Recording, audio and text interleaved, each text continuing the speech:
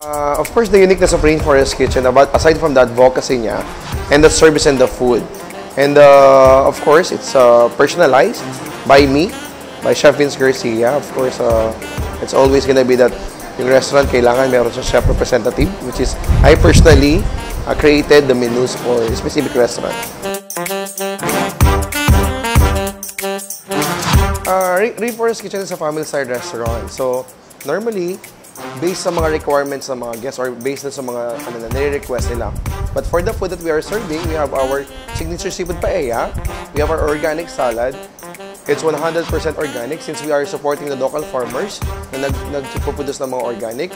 And of course, our signature lechon belly.